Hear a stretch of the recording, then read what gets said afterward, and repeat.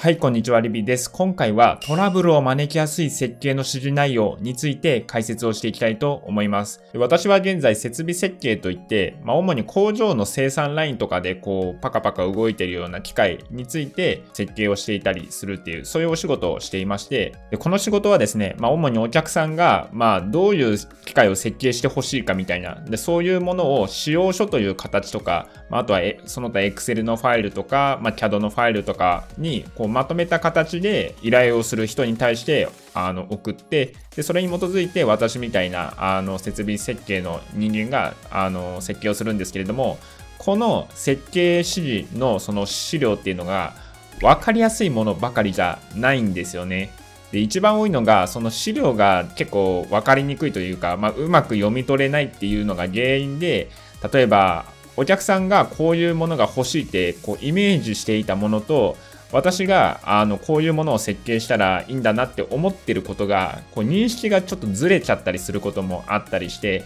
でそれが原因であの大きなトラブルになってしまったみたいなこともあります。で私の他にもですねあの私の知人です、まあ、設備設計をやっていた人とかいるんですけれどもやっぱりいろいろトラブルがあった結果もうその機械の設計はもうやりたくないっていうのでやめてしまったみたいな人もいるんですよね。でせっかくものづくりっていうものに対して興味を持ってあの設備設計っていう仕事をしているのになんかそういうトラブルでこうやめてしまうみたいなのは私個人的にはすごいもったいないなっていうふうには感じてるんですね。ということで今回はトラブルを招きやすい設計の指示内容っていうことについて解説をしていきたいと思います。もし視聴者さんの中に設備設計に関わる仕事をしていますっていう人がいたら、まあ、この動画の内容を反面教師にして、まあ、トラブルを予防するにはどうしたらいいかっていう、まあ、そういうヒントに役立てていただけたらなっていうふうに思います。で補足としてですね、まあ、ちょっとタイトルが悪いっていうのもあるんですけれども、まあ、これタイトルだけ見るともう指示する方が悪いんだみたいな、まあ、そういうふうに捉えてしまう方もいるかと思うんですけれども、あのそういう趣旨ではないです。まあ、確かに、まあ、そういった面もあるかもしれないんですけれども、逆にその設計の指示を受ける側にとってもですね、あのちゃんと確認しないのが悪いっていうのはあるので、まあ、どっちが悪いというよりも、まあ、どっちもどっちっていうことの方が多いんですよね。でトラブルが起こると誰のせいだみたいなそういう責任転嫁祭りが始まる職場もあるんですけれども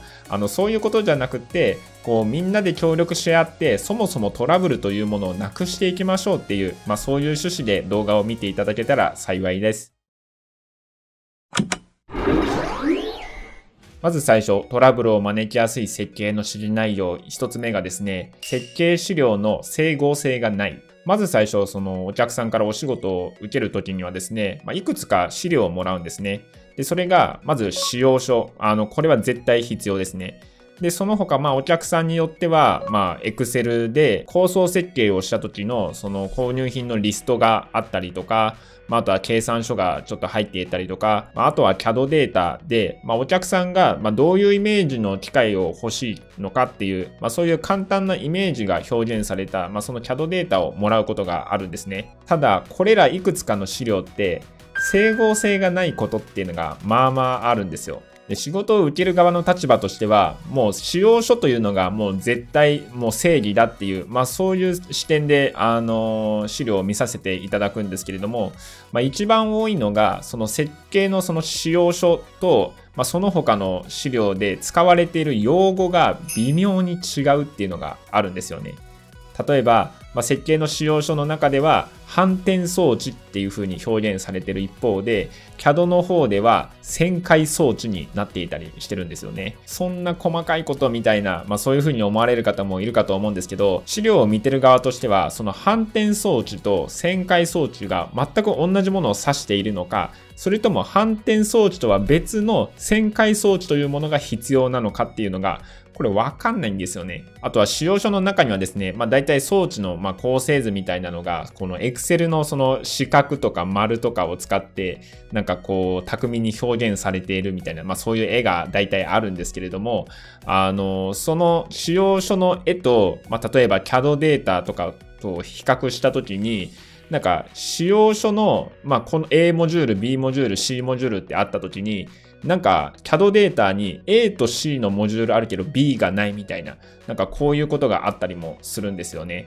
でそうすると、この B モジュールについては自分が設計しないといけないのか、それとも誰か他の人が設計をしているのか、まあ、それともそのお客さんがその構想を練る中で、まあ、やっぱ A と C だけでいいから B は削除って言って削除されたものなのかっていうのが全く判別がつかないんですよね。あとはこれ逆のパターンもあって、例えば A モジュール、B モジュール、C モジュールですよってこう使用書には表現されてる一方で、CAD データを開くと、なんか ABC の他に D があったり、E があったりとか、まあそういったこともあるんですよね。でそういう余計な部品があると、結局いるのかいらないのか、こちらとしては判別がつかないですし、例えばその部品は何かのユニットとして使わないといけないものなのか、それともその部品は実は前工程の部品で干渉チェックに使ってくれっていうために置いているのかとかその辺の事情が全くわかんないんですよね。で、いらないデータはとりあえず残しておくかみたいな人もいると思うんですけれども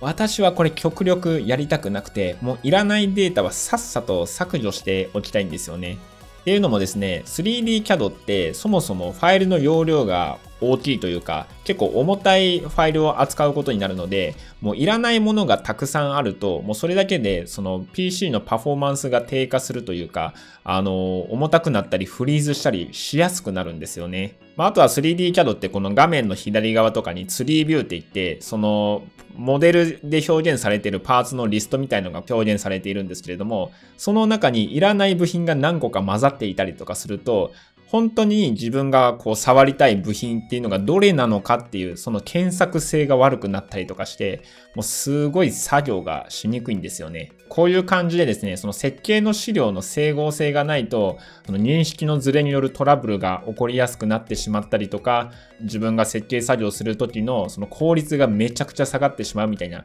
あ、そういった事態に陥ったりしてしまうんですよね。続いてトラブルを招きやすい設計の指示内容2つ目がですね、中途半端な構想設計。これ業務委託の仕事をしてると、まあ、結構あるあるかなとは思うんですけれども、まあ、例えばこうお互い初めまして同士で、まあ、仕事をこれからよろしくお願いしますってやった時にそのお客さんからですね、まあ、いきなりこう構想設計みたいななんかアイデアをひねり出さないといけないような大きな仕事をドカってこうもらうっていうケースって非常に少なくてそうじゃなくて、まあ、まずは簡単な仕事から、まあ、ちょっとずつこうお互いの感じをつかんでいきましょうみたいな、まあ、そういうところからスタートすることが多いんですね。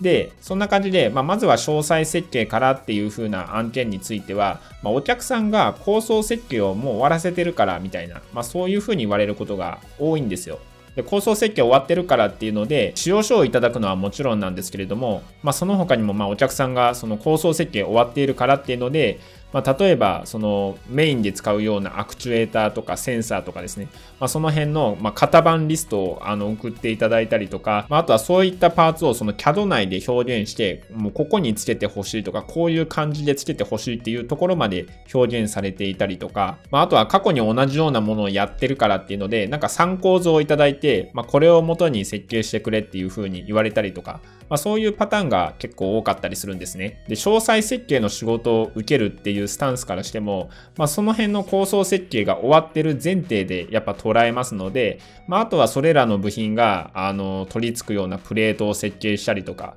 まあ、あとは取り外し取り付けした時に、その再現性が出るように、まあ、ちゃんとピンで位置決めしようとか、まあ、そういうところをやったりとか、まあ、あとは、こう、工具がちゃんと、こう、アクセスできるように、まあ、ボルトの位置ってこの辺がいいかな、この辺がいいかなとか、まあ、そういうところをあの検討したりみたいな形で最終的にあの図面という形で仕上げていくんだろうなっていうのを想像しながらやることが多いんですよ。ただここで注意なのが、まあ、お客さんがいくらその構想設計終わってるからって言っても、そのクオリティが低い場合があるんですよ。例えば選ばれているアクチュエーターのそのトルクとか水力が全然足りてませんよとか、まあ、あとは選ばれてるセンサーの分解能が低くて、まあ、それ検知できませんよねっていうことがあったりとか、まあ、あとはそもそも購入品の使い方が間違ってますよとか、まあ、あとはその使用書に書かれてるそのお客さんのこういう風に動作させたいっていうその動きが実は原理的に成立していませんとか、こういうことがあったりするんですよ。で、いくら詳細設計を頑張っても、まあ構想設計がそもそもこけてたら、これいくら完成度を高めてもダメなものはダメというか、もうただのゴミのデータを作ってるだけの作業になってしまうので、これは結構いけないことというか、あの、まずいことになっちゃうんですよね。まあ、言い訳みたいになってしまうんですけど、あんまり詳細設計をしてくださいっていう案件って、工数があまりこう確保されていないケースが多くてですね、私がその構想設計が成立してるかどうかっていうのをこう全部調べるみたいなことをやると、もうそれだけで数十時間かかるっていうことも結構あるので、で、そうなるとお客さんの予算もオーバーしてしまうみたいな、まあその辺が難しかったんですけれども、まあそういうところも、まあ、あの、疑いつつ、あの、案件を進めていけばよかったなっていうのが、まあ今の反省点ですね。続いてトラブルを招きやすい設計の指示内容3つ目がですね、稼働条件なのか、設計条件なのか。で、これもよくあるんですけれども、まあ、例えばいただいたその使用書の内容に沿って、まあ、私が設計を進めて、で、できました。これで確認お願いしますって出したとするじゃないですか。で、そうするとですね、お客さんから、これちょっと能力的にギリギリやなとか、強度的に不安だからもうちょっと余裕見てもらえるっていう風にコメント来るんですよね。要するに設計の使用書通りに設計すると NG になるんですよ。でこれどういうことっていうので、よくよくお客さんの話を聞くとですね、まあ、お客さん的にはその使用書での内容でこう表現したことっていうのは、あくまで稼働条件、つまり通常こう装置を使用する上での条件であって、あの、それで設計をされてしまうと、こう、なんかあった時にトラブルになるじゃないかっていう、まあそういうことみたいなんですよね。こう、コンベアとかでもですね、まあバッファーって言って、そのワークを何個かこうストックしておくような、そういうスペースがあるんですけど、それが使用書では、例えば3つ分、3つ分だけそのバッファーできるようにしといてくださいってなってるのに、CAD データ開いたらなんか4つ分は確保が必要になってるとか、なんかそういうこともあったりしますね。あとはこれ計算書にも言えることで、まあ、例えばワークが10キロなので、まあ、10キロに対して荷重がどういう風な向きでこのようにかかるからっていうので計算したらいいのかなって思ってたら、その実は10キロじゃなくて12キロぐらい見とかないといけなかったとか、なんかそういうのが後々になって発覚したりとかっていうこともありましたね。でこういうことが起こるとですね、使用書の信頼性がなくなるんですよね。あの1番の内容にも通じるところなんですけど、それぞれの資料で言ってることとか表現されてることが全く違うので、どれを採用したらいいのかが全くわからないみたいな、そんな感じですね。で特に余裕を見てほしいっていうのはちょいちょい言われるんですけど、その余裕のさじ加減ってめっちゃ難しいんですよ。まあ、例えばこう動くものと動くもののクリアランスが5ミリってなってた時に、その5ミリでちょうどいいという人もいれば、大きすぎるという人もいれば、小さすぎるっていう人もいるんですよね。あと、この辺のさじ加減で結構揉めやすいのが安全率ですね。例えば安全率って2倍見といたらいいのか、1.5倍がいいのか、3倍がいいのか、5倍がいいのかって、これ正解ないんですよ。で、あまりにもオーバースペックのものを選ぶと、それはそれでコストが高くなりますし、かといって、もしその強度的に足りない部分があったら、それ機械が破損してしまうので、それもそれで良くないってなるんですけれども、じゃあ一体どれぐらいを見といたらいいのかっていうのは、真面目にやろうと思ったら、こう品質管理というか、あの耐久試験とかを繰り返しながら安全率はこの辺が良さそうだっていうところまでしっかりやって設定されるべきものなので確実にこんだけ見とけばいいっていう正解なんて存在しないんですよね。で安全率ってそれぐらい奥深いものなんですけれども、まあ、そこをですね、なんかいい感じにこうさじ加減で余裕見といてっていう風に言われてもですね、これはちょっと難しいというか、まあ、なんだかんだこんなもんで見積もりはしますけど、それに対する責任って一切持てないんですよ。っていうので、まあ、この辺が結構トラブルを招きやすいポイントになるかなっていうふうに思います。でまとめなんですけれども、まあ、トラブルになりやすいような設計の指示内容っていうのは、今回挙げたような3つがありますよっていう話ですね。でこれ冒頭にも言った通りですね、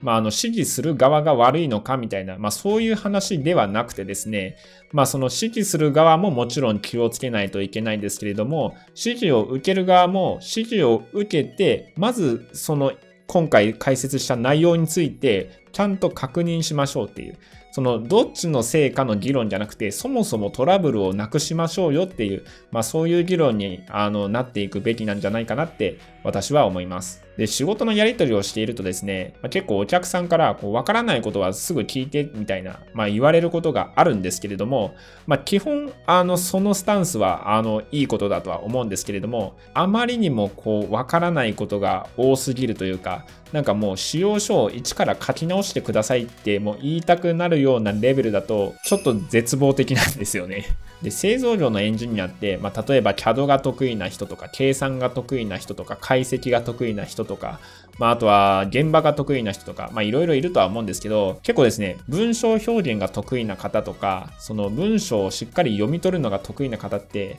これめちゃくちゃ少ないんですよね。まあ、なんですけれども、まあ、そんな中でもうまくトラブルを予防していきながら、あの、仕事をしていけたらいいのかなっていうふうに思います。はい。では、今回もご視聴ありがとうございました。最後にお知らせになります。このものづくりのすすめでは、まあ、私の経験談に基づいた、まあ、役立つ情報とか、まあ、あとはサービスの紹介とかも、あの、どんどんしていきたいと思っています。また、YouTube ライブとかでも、まあ、CAD の操作をしながら皆さんと雑談したりっていうこともやっていますので、まあ、あの、気になる方はぜひ、あの、チャンネル登録等していただけたら嬉しいです。またですね、私、その設備設計の仕事を、まあ、個人で、あの、業務委託でやっていたりもしますので、もし、あの、お仕事のご依頼のある方はですね、概要欄のメールアドレスからご連絡いただけたら幸いです。それでは本日もご視聴ありがとうございました。また次回の動画でお会いしましょう。